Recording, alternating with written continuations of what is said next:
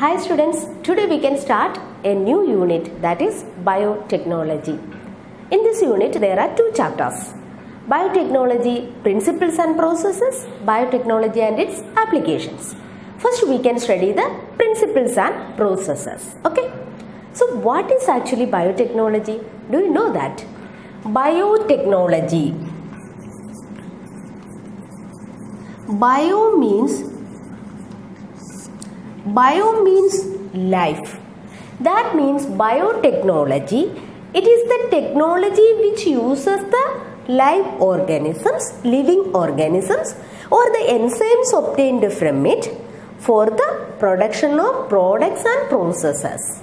Okay that is useful to the human beings. That technology is known as the biotechnology okay so in biotechnology it uses the living organism or the enzymes obtained from it. And the european federation of biotechnology has given a definition to biotechnology. That is the integration of natural science and organisms cells parts thereof and the molecular analogues for products and services. That's the definition given by european federation of biotechnology okay.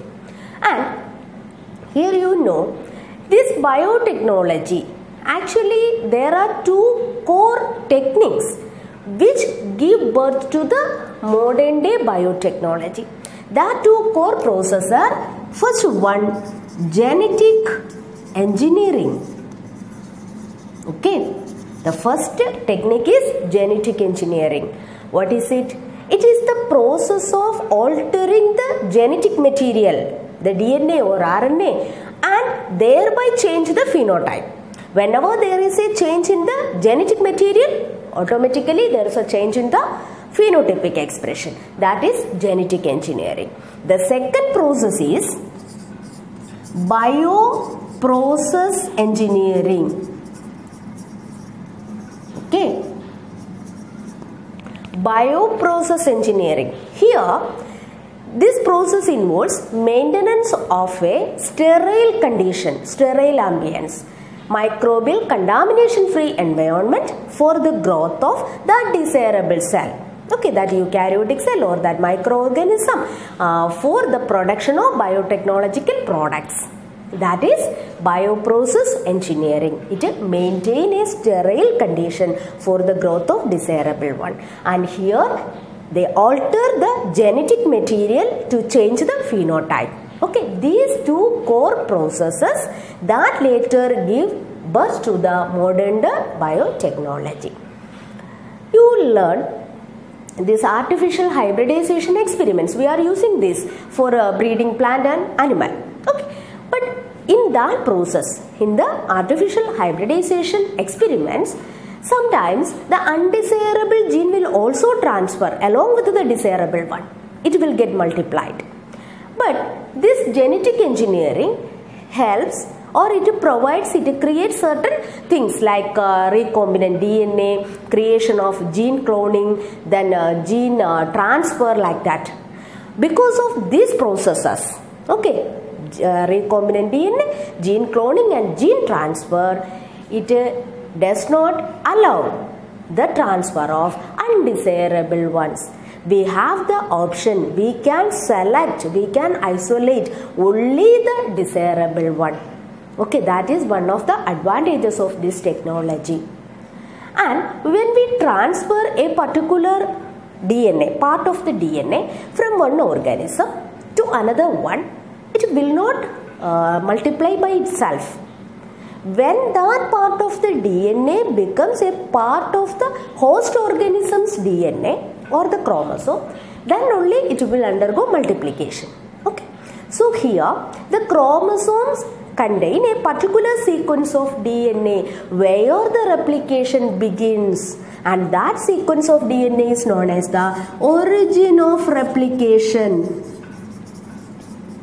origin of replication. It is a sequence of dna where the replication begins. So when we transfer the foreign piece of dna alien piece of dna we have to integrate we have to incorporate that piece of dna into the origin of replication of the host organism. Then it become a part of the chromosome and it will also undergo multiplication. And it produce multiple copies. That is known as the gene cloning okay and now let us check how the first recombinant dna was constructed it was constructed by stanley cohen and herbert boyer in 1972 they isolated a part of the dna which contained the genes for antibiotic resistance from the plasmid of a particular strain of E. coli. Plasmid means these are extra chromosomal DNA. These are circular in shape and autonomously replicating. Okay, self-replicating circular extra chromosomal DNA is known as the plasmid and they isolated a part of the DNA from this plasmid. Here the plasmid is normally act as a vector in molecular biology. Vector means it can carry the particular DNA from one organism to another. It is used, the plasmids are used to transfer the alien piece of DNA to the host organism. So they are known as the vectors. And how they cut the DNA from this plasmid? They use certain enzymes these enzymes which are used to cut the DNA are known as restriction enzymes. Restriction enzymes. Okay. These restriction enzymes are the molecular scissors because these are used to cut the particular DNA sequence. Okay. And after that, they introduce this DNA sequence into the plasmid of Salmonella typhimurium okay and here the part of the DNA get incorporated into the plasmid with the help of another enzyme that is known as the DNA ligase. Which enzyme?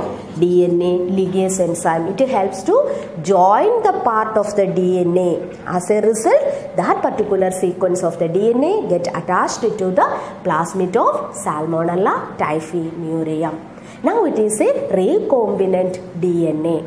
Okay, and when this recombinant DNA is transferred to bacteria E. coli, that E. coli bacteria is very close to the Salmonella typhimurium. When it is transferred to that E. coli, it will undergo multiplication with the help of DNA polymerase.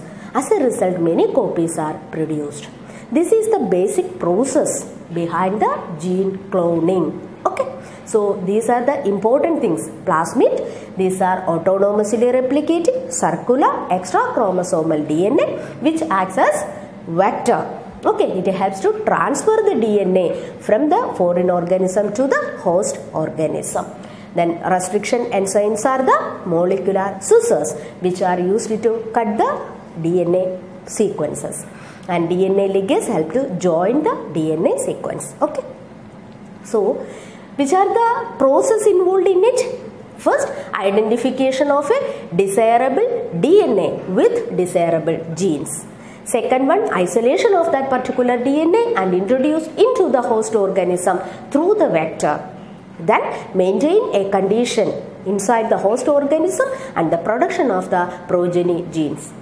So these are the steps involved and there are certain tools also required. We need certain tools to conduct this biotechnology experiments. Now you know which are uh, the things we need. We need plasmid for transferring the genes. We need a host organism and then we need restriction enzymes, we need uh, ligase enzymes, we need uh, polymerase enzymes. Okay, these are the different tools.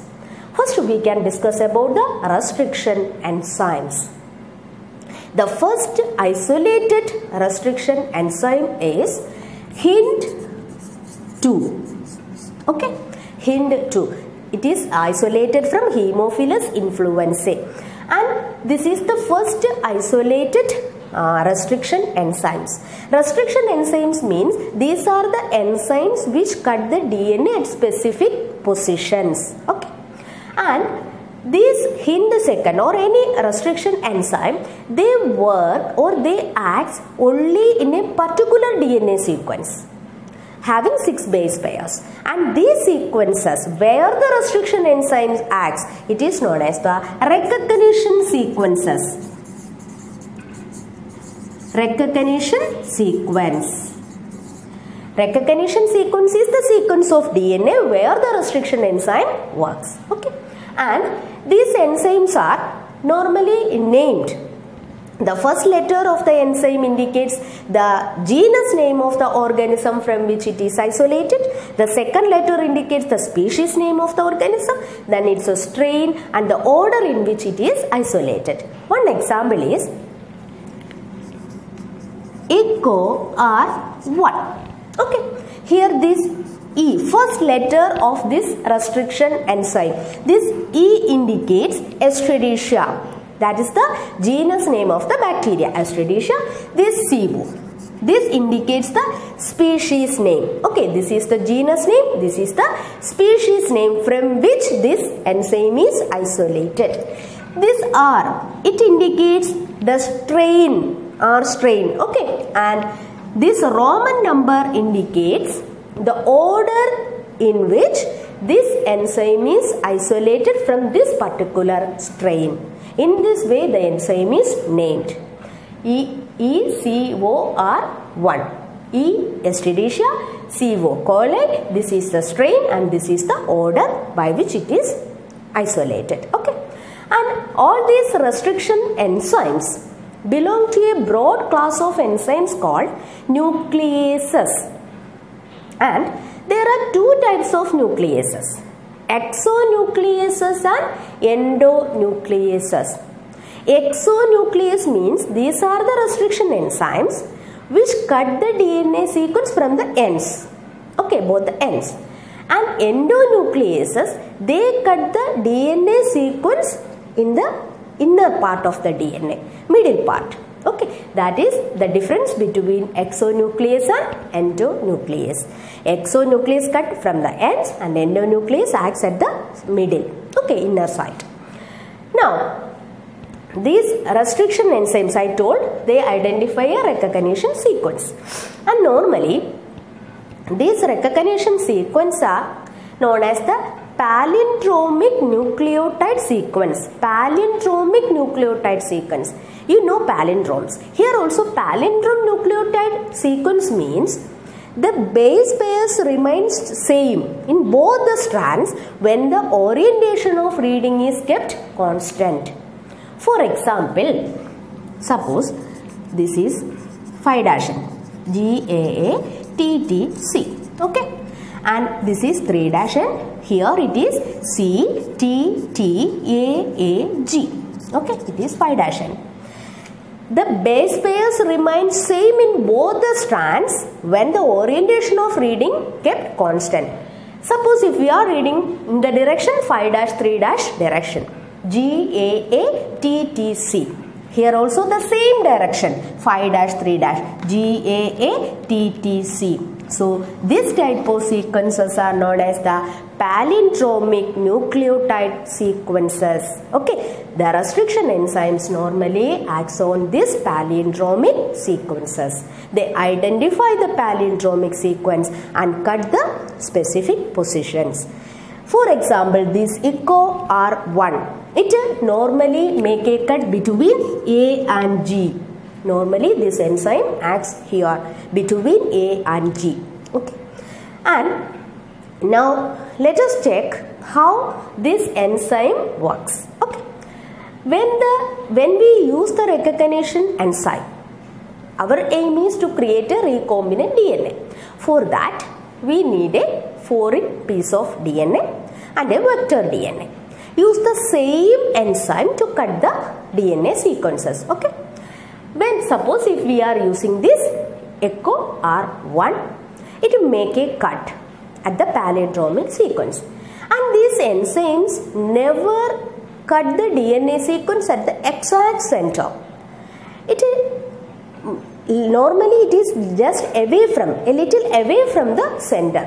As a result, a single stranded stretches leaves there remains there and that overhanging stretches are known as the sticky ends these are known as the sticky ends because the restriction enzymes never cut the palindrome at the exact center.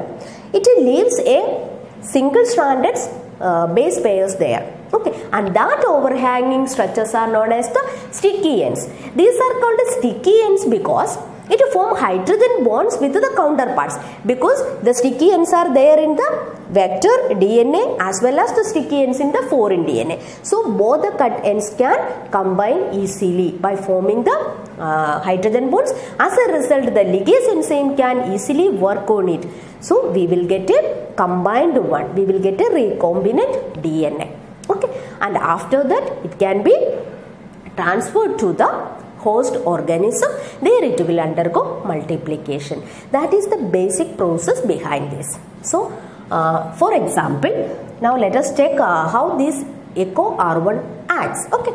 For example suppose this is the part of a foreign dna i told the palindrome is there. It is g a a t t c. Here c T T A A G. Okay. Okay. So this palindrome is here. This is the suppose this is the foreign DNA. And the same enzyme is used to cut the palindrome of the vector DNA. Okay the palindrome of the vector. G A A T T C. Here C T T A A G. Okay? So this uh, this is the vector DNA so when the enzyme work it make a cut between G and A. Okay? C T T A A.